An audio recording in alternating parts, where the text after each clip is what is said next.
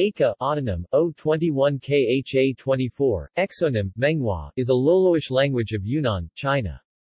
There are 3,000 speakers in Yijiacun, Heliu, Shuangjiang County, Lincang Prefecture. Eka speakers claim to have migrated from Weishan County about 300 years ago.